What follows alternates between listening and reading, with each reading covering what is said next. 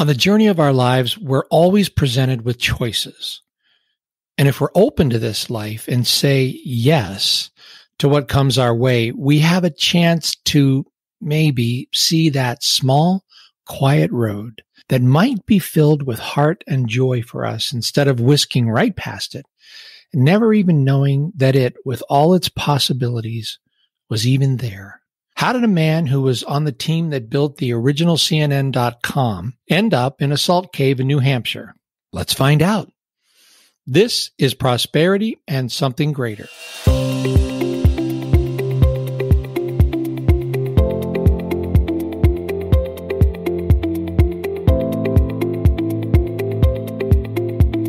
My guest today is Daryl Browne.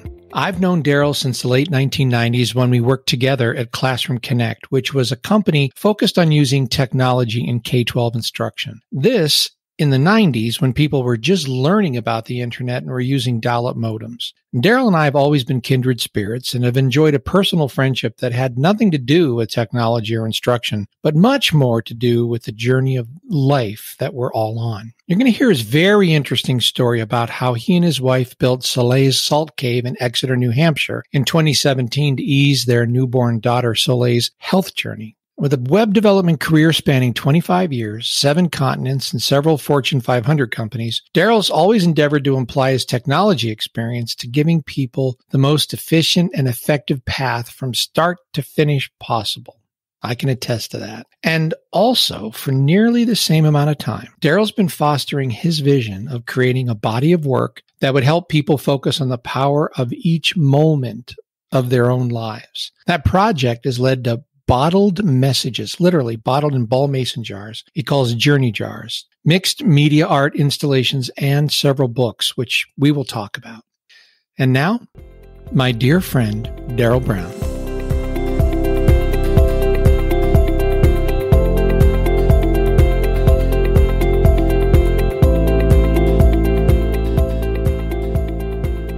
Well, welcome to the podcast, everybody. Hi, this is Rem, and with me is my dear friend. And I have a lot of good friends. I have a few dear friends, but I have a dear friend of mine and a fellow traveler on the journey of life, uh, my friend Daryl Browne. Daryl, thank you for taking the time, coming out of the salt cave, and spending some time with us today to talk about this really fun topic of prosperity. Welcome, my friend.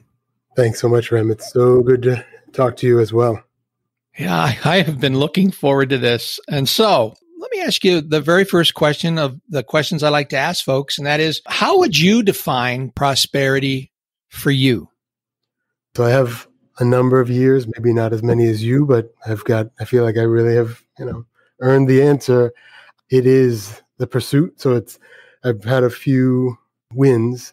And as you reflect on the wins, like, wow, the win was nice, but it was really about the journey you tend to really cherish the lessons from the losses. And I actually had a friend who was a um, a rocket scientist. People talk about, you know, it's not rocket science, but this guy was a rocket scientist, and he said his mentor told him he's forgotten all the problems and he's forgotten all the solutions, but he always remembered the principles that got him there. I always took that to heart, and it's born true that um, how you went about the journey is all that you bring with you. So, again, prosperity to me would be um, the ability to pick a goal and pursue it, not attain it, not you know, just the, the pursuit. Prosperous if you can pick one, pursue, and just notice along the way.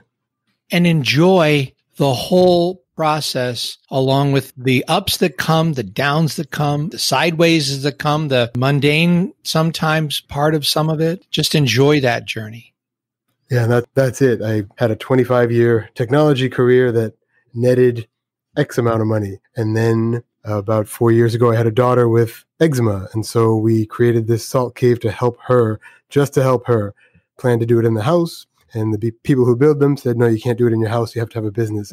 And so we set up this place just so we could do it in whatever way needed to be done. And within 18 months, a little bit less, that eclipsed any money I'd ever made over the 25 years of intentional so of this grinding and okay, I've got to get here. It's just oh, by virtue of doing heart work, heart centered work, that other piece of the, the brass rings was just attained. So it was just another one of the daily lessons I literally turn the key and walk into. Of it's not about so much effort as it is about really feeling into why are you're doing what you're doing. And when you have the why, things just somehow line up, you know. They really do. They really do. And you cannot force it. And I think that's what causes so much stress and so much struggle with folk. You've heard how I sign off on my podcast. It's really my philosophy now. And it is really my ultimate goal every day is to have my best day ever, no matter what, no matter what. And I get it more often than I, than I miss it, though times I'll miss it, but it's not often. Yeah. I agree. It's about that it doesn't matter what the events or circumstances are in the day, just the act of noticing, we can call it intention setting, whatever, but just that act of gathering in all the data so you can be grateful, you end up with a mighty day for sure. Yeah. So let, us give everybody a chance to meet you a little bit. What would you say was the defining moment or event? I mean, you've talked a little bit about where you're at now, but really your career journey. I mean, folks, I, I, mentioned this a little bit in the beginning, but I met you when uh, we were both at Classroom Connect and we were working on our big project called Connected University. And we were trying to figure out, Daryl, you remember this. I mean, there was almost no online learning. I remember there was something called Ziff Davis University, which we looked at and said, wow, check that out. But we were borderline inventing this as we went along. Yeah. Definitely. Yeah, early days. this was the one of the premier e-learning, especially for specifically for teachers as a portal just for them. This was this was it. Yeah. And we needed a magician. We had wise people. We had Dr. John Gould, Dr. Terry Gray advising us on how to set this up. And they had done all this work and whatever. But we needed a technology magician to do something called get it on the internet and make it work. And, and really, you know, this brilliant fellow who had actually done a lot of pioneering work on this with CNN, you know, which a lot of people, you know, don't really know that there's a time CNN maybe didn't have a web page. Uh, and he shows up and, and we built this together. And that's how we met. So, you know, tell us a little bit about Daryl, if you don't mind, you know, how'd you get everywhere? It's, it's all a funny story that all ends up with the same tagline or the same punchline of just saying yes. So I grew up in New Hampshire. Full circle, I'm back in New Hampshire, so that's a spoiler. But I grew up in New Hampshire, went to um, Harvard University for biological anthropology. My family sent me to be a doctor, and I was sure I was going to not do that and maybe trick them with a major that sounded like medical, so biological, and then I'd mumble the anthropology part. So I was just fascinated with all the medicine men and all the uh, alternative healing things. So I got into um, focusing on medicine men in Tanzania, psychosomatic health and wellness, I think it was, but just these fascinating Western world accounts of unexplainable things that happened based on what people believed. And so I wanted to be a, an academic, but based on my the whole saying yes thing, I was just enamored of all the libraries at Harvard, so I would read everything possible, Tao Te Ching, all things that aren't didn't relate to anything that needed to be done for a test. My advisors were not big fans. Uh, and then 1993 was a um, low economy, high wartime, I think. So I, I signed up for the Marines and did that and uh, broke my ankle and then said yes to an early out and then uh, ended up at Houghton Mifflin doing some publishing support work and just really had a dream to be a writer. So my intention was to to be a writer, but didn't quite know how to get there. And I was really intent on doing something genuine, authentic, that was mine. But you know, you're young, so CNN was a, a thing at the time. So I took writing tests, got in, was so happy, I was excited. I'm I had found it. I was, you know, a couple jobs out and I had my dream. I am a writer. I get paid to write news stories. But then in short order, it was clear I wasn't going to get promoted because I wasn't a, um, I was not a trained uh, journalist. So I kind of, I worked everywhere. I worked at CNN Spanish, CNN International, CNN um, proper headline news. So I just basically tried to compensate by being everywhere at once. And I was trying to be noticed by uh, CNN International, I think. So I flew myself to China for the Tiananmen anniversary. Uh, it was a big news story. It was, I think, Ted Koppel's daughter was the um, person, the bureau chief, and there was just a you know general. Every company has a culture, but journalism has its culture. And I, you know, I was an outsider, so I thought this will be my big break. I'll break in. I'll fly myself there, learn some Chinese over at Emory University. So while I was there or going, China has their own um, rules about who comes and goes. And I was too young and dumb to know that. So I got there and was basically just put on the bench because the Chinese authorities hadn't approved this strange person just flying. And so I spent a, a couple weeks in uh, Beijing just tooling around. But meanwhile, back at CNN, CNN.com was just starting up. And among the places I had volunteered and sort of been my little bee pollinating all the flowers, I had done some volunteer work at CNN.com and they said, Well, where's that Daryl guy? And somebody said, Well, he's in China right now. And so I wasn't actually there under, under great qualifications, but by saying uh, yes to everything, including my own hunches, when I returned, I had the job at CNN.com. So I was one of the first couple of uh, associate producers for CNN.com, figuring out how do you create content? What is this online thing? So, uh, claim to fame, I am the first, I put the first GIF in a news story. So it was a Squash Me Elmo story that the asset has since been taken down, but the story is still available in like a time machine site somewhere. But uh, yeah, I, I, did the first animated GIF to uh, accompany a news story. Said yes to CNN.com, right place, right time. The the web was rising, and then I just continued to say yes. No one knew what you needed to do to get this stuff done, programming wise. I just happened to have grown up in a household of my father was an engineer, so he used to just bring uh, microprocessors home to mess with. But I swore as a young man, I'll never do that. And I'm going to be this writer, but it was in my blood. I had been raised around technology, never took a computer science course, which was good because those who took computer science courses in 1990s, they knew what to say no to. And, you know, these strange new things would be what to say no to. I knew no better and just said yes. So I rode the wave straight into uh, Lancaster, Pennsylvania, Manhattan Beach, and that's where our paths crossed. I remember you um, you said, you know, what do you need? And uh, I said, I don't know, but books are a good place to start. And I remember it was in Pennsylvania where uh, I think you took me to the bookstore, gave me a fresh credit card, and I remember walking out there with arm's length, maybe two arms length of books, and just you know, we set up the team, technology stack, and didn't know what we were doing, but knew enough to keep saying yes. So that's been the story. There's, there's every pivot point in my career and life. It has been saying yes, despite what details appear. Yeah, and we can we can keep going with that. And then your journey led you back to, and you've already told the story of why you now own and operate a salt cave. I'm now since you and I've discussed this, I learned there's one very near me in Las Vegas. Diane and I are going to head down and um, experience it.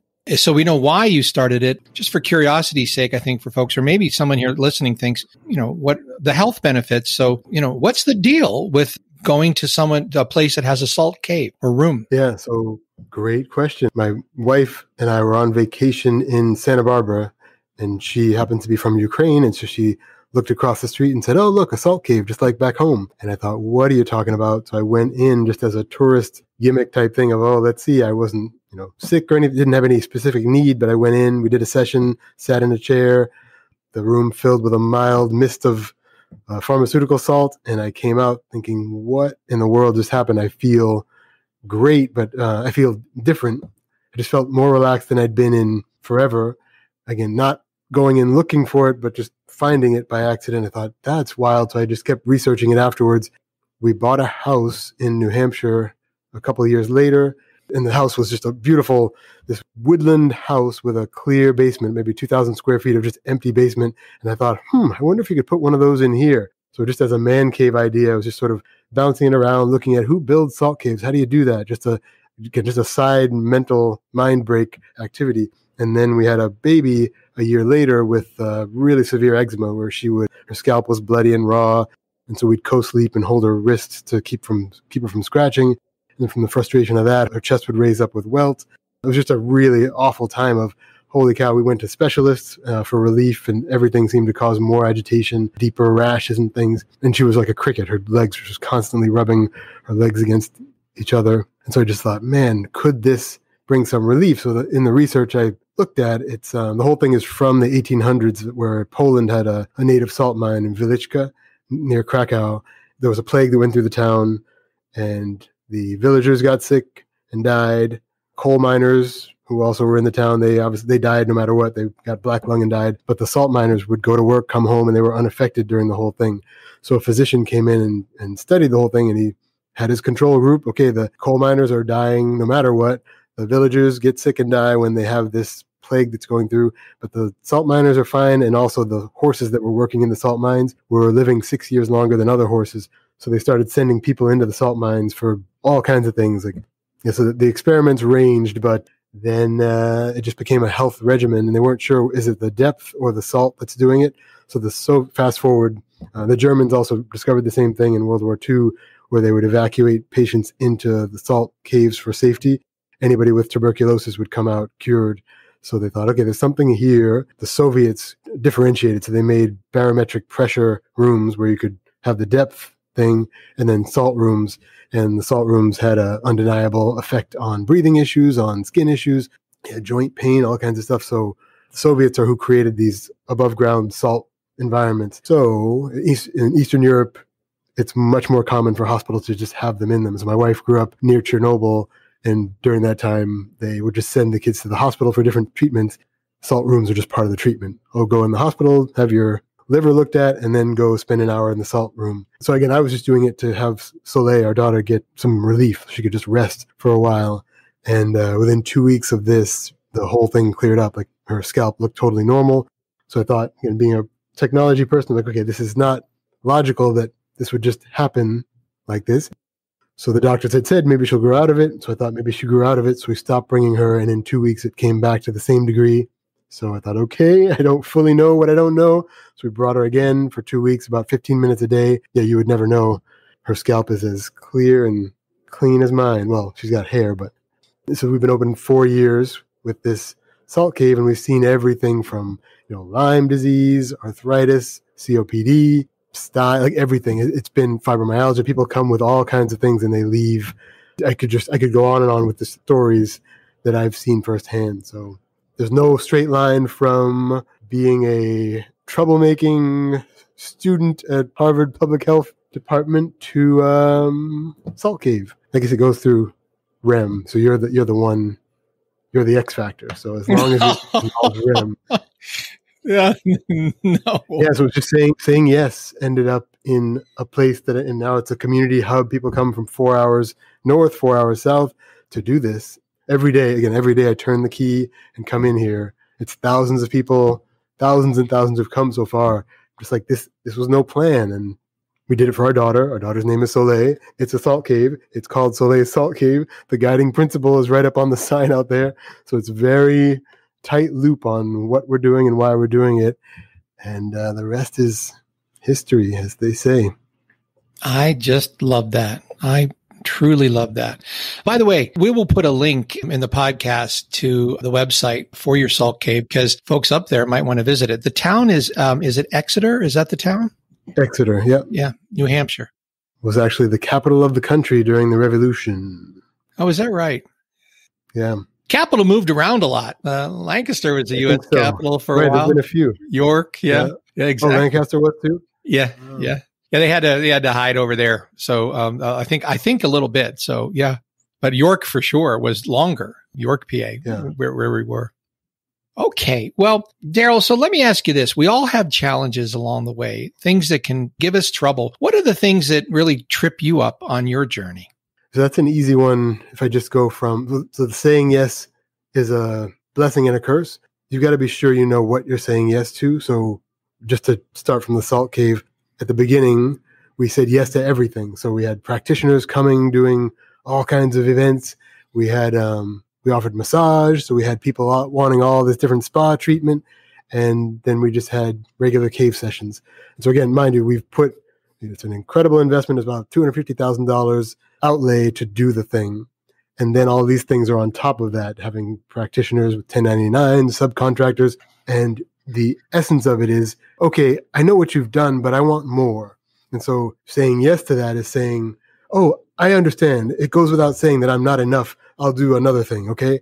And so we bent over backwards for a solid two years before I started feeling like, you know, this is not and we're, you know you're being assured by other businesses hey you got to play ball you got to do what people want give them what they want and then you know down the road, you'll get what you want.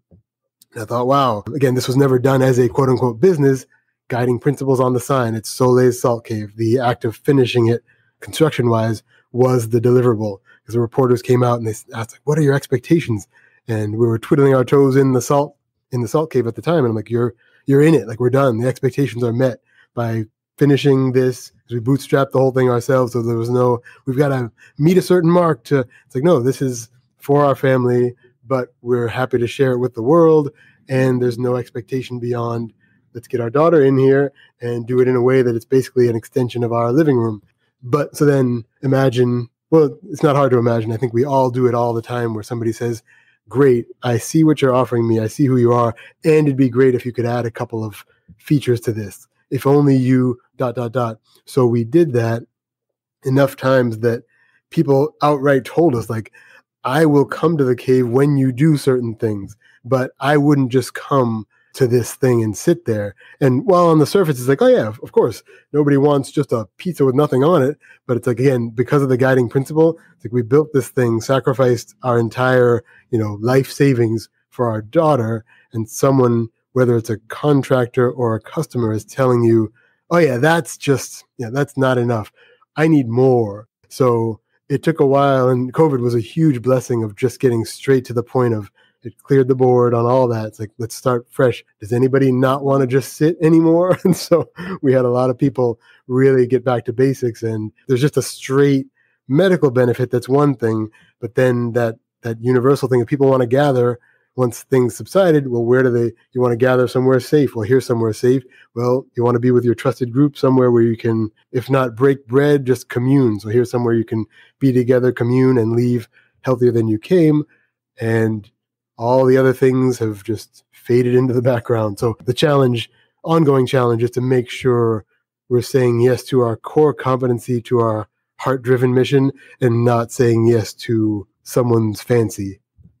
That is a really eloquent way of saying the one rule that I've learned to live by. You know, we started top practices 15 years ago, which is amazing to me. But do not chase the shiny, bright objects because they're, or they're attractive. You just like, ooh, that's a shiny, bright object. And I've, I've learned just, you know, I think Warren Buffett said, you know, successful people say no to most things. Highly successful people say no to almost everything. It's you just do wow.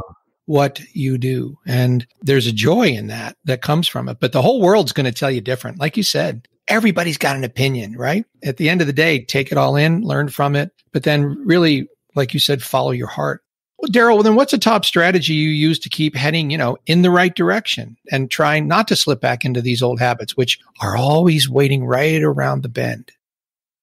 Yeah, so it's a great question. I try to focus on because I've read books about habits, and I really try to work on on the inner game more than the outer game, and uh, and I've just seen it play out where when I am when I work on me, somehow the circumstances seem to change outside without receiving any prior warning. For me, it's just analyzing my own habits, like hyper analyzing my own habits. Like, what are you doing today? Why are you doing that? How long are you doing that?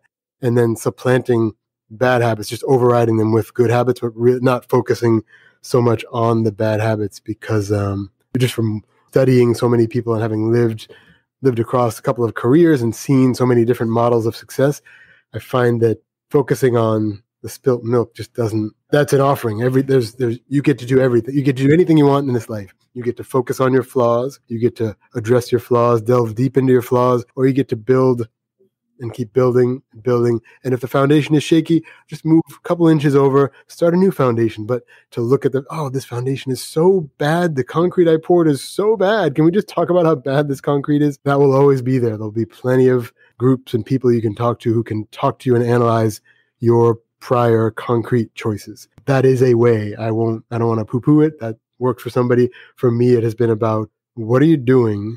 Do we need to add another thing? And if that other thing is overridingly good, it just somehow drowns out the negative. Yeah. So the people that are listening to this podcast, they're, they're interested in really achieving their own version of prosperity.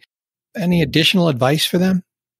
and just to use my just to speak from experience rather than theory it's like you have no idea what you are cutting off when you say no just like you have no idea what you are potentially going to learn when you say yes. As much as I complained about, oh, I got sidetracked by saying yes to these things. I could have read a bunch of books that would have said, just do one thing. But saying yes will always lead you toward your path because you'll you can either say no and no and no and eventually your yeses will be pure yeses yeah you just got to agree to to tap into whatever is around you there's not a bad or good judgment when you're just saying yes because you're you're basically saying i'm going to appreciate this. And if this is a half full glass well i appreciate it in its half fullness. And parenthetically i will be pursuing a full glass tomorrow you know? You know i have a couple of rules in life that i live by. One of them is always take the meeting. Always take the meeting. In fact, yesterday I had a uh, young man friend of mine had said there's somebody that lives in Vegas that I think you ought to meet. No idea what the connection could be at all. But I just have a rule, always take the meeting. So we sat out back in my backyard and, and had a discussion. This person's involved in the world of podiatry and some of the things that we're doing in a very different way. And I learned some really, really cool things I did not know, which I thought, you know, if you'd have told me that that was possible, I would have totally agreed, but also would have thought, well, I mean, I've really been around here for a while and I picked up some very interesting stuff. And who knows? You know, I build top practices under the principle of the mastermind, which is Napoleon Hill's second principle of success. And I can attest to the unbelievable value of of working together with like-minded people. I I know how important that is. And so one of the things when when we'll hold a mastermind meeting, one of the ways that you do this is some it's somebody's turn and they get to talk about what's going on and they get to have you know discuss. If they're smart they won't spend a lot of time telling you all the you know the great this and i did this. they they will say i'm having this issue and i'd like to ask the group you know what do you think about this? And then they just listen. And i've been trying to you know i really work with and it works pretty well teach people no matter what anybody says just listen. Take it in. Another rule of mine is the answer is yes. Now what's the question because later, after the meeting or after you've learned more, you can then say no and probably should to almost everything, but you'll never know if you don't have that openness. Yeah, that, that is the one caveat I'd put to the saying yes. It's commitment is separate from saying yes. So you say yes to the experience, bring the thing in, but then when it comes to commitment, keep that just so laser focused that it's basically I've learned I'm learning that part now where wow, the majority of things. I stopped answering the phone a few months ago because I was having to say the same thing over and over again. And I need to train customers to come to us in a certain way so that I can provide the best uh, experience while they're here. And that was a great, same as locking the door. So the, the new COVID, post COVID practice of locking the door helped to raise the bar of this may not be the place for you. You know, and if it is, that door opens wide up, right? Come on in. Here we go. Your experience is safe. And to similarly, the phone, it's I, as the purveyor of this experience and the, the keeper of the salt, I need to keep my time safe. And if these are questions that can be answered some other way, it's probably a no to me picking up the phone. Yeah, that was a big growing up step of, yeah, I know you want hand holding, but my hands are both tied up doing other stuff. Yeah. That will be for your greater good when you come, you know. Yeah, that is a lesson that I learned a long time ago. I now have layers upon layers before you can access my time because I'm focused on the people that I'm, you know, my, what I call them in top practices, they're members and uh, I work with them and I'm, I'm working with them. So to get to me, it's hundred percent doable always. And for my members, it can be very quick, but it isn't straight to me. Almost never. Uh, that's not, not always. I mean, I have broken that rule, but I've also found out every time I break that rule, my team really gives me a hard time because I cause problems. So I really do behave myself. So Daryl, fun question that I've just enjoyed. I may write a book about the answers to these questions, but if you were a toy, any toy at all, what would you be and why? Any toy. So, okay. I'll ask qualifying. Can that toy be in multiples or it's a single thing? Sure. No rules. I'll say dominoes. Dominoes, because I like to set up a structure and then, you know, see it play out. So I'll say a healthy box of dominoes. Yeah. That's great. I, when you say it, I can just see them all. You know, I can see those patterns that people yeah. make. Up a ramp, down a ramp. Seen some amazing ones. You ever done anything like that? You ever put any of those together? Yes, you can imagine. I can. It uh, it was called Connected University. Touche.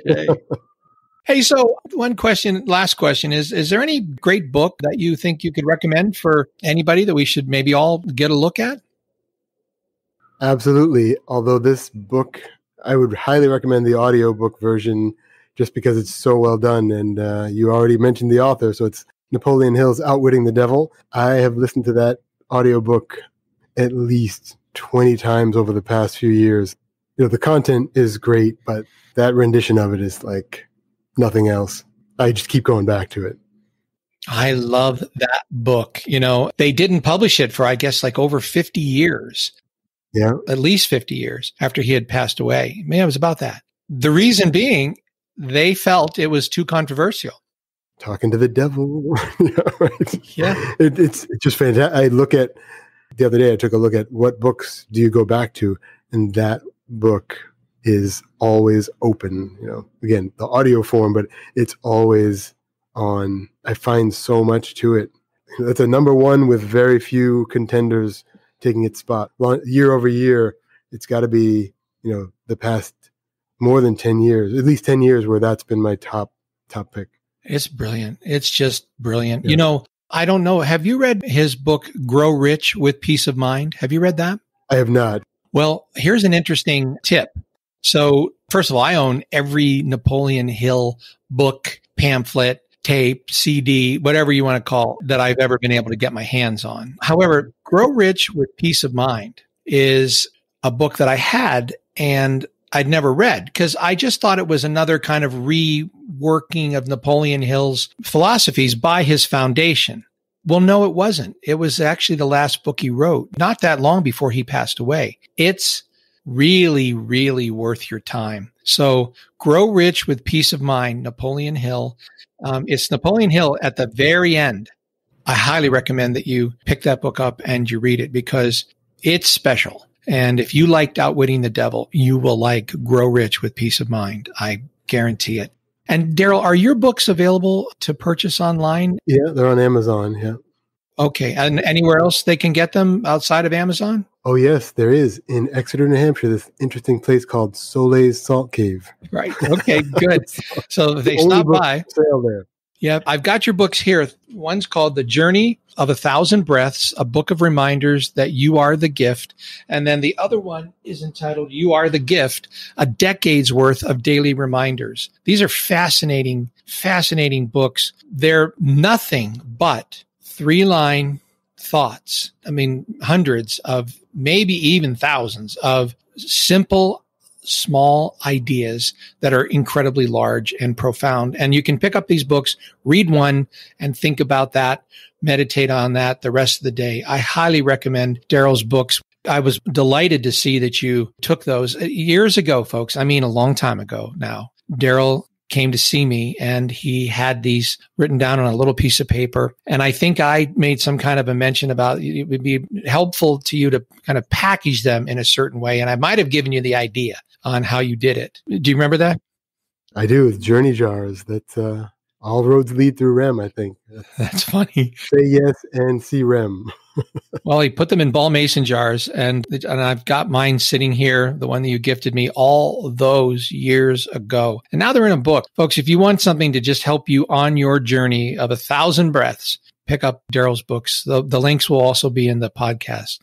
My dear friend, thank you for spending the time with me and for sharing your thoughts on what has become a delightful journey of my own, just talking to wise people that have something to share. The very first podcast, I was trying to figure this out. I was trying to describe it or whatever. And I look back on it now and I think, wow, Rem 30 plus episodes in would have really benefited from talking to Rem day one. So the journey's been worthwhile for me and I've enjoyed every second of it. So Daryl, thank you.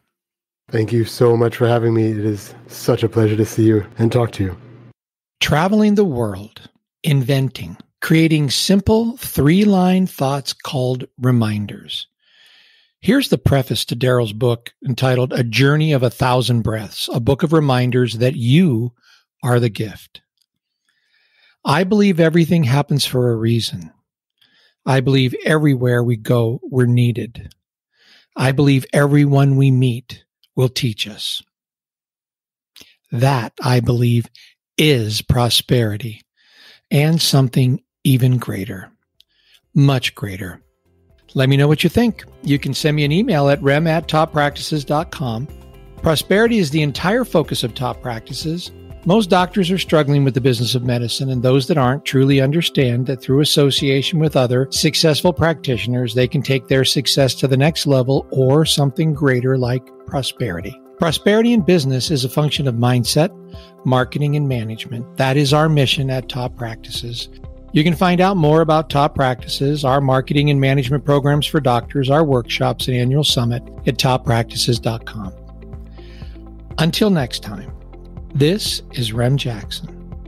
Smile when you wake up and then have a really great day. Your best day ever. Nothing is more important.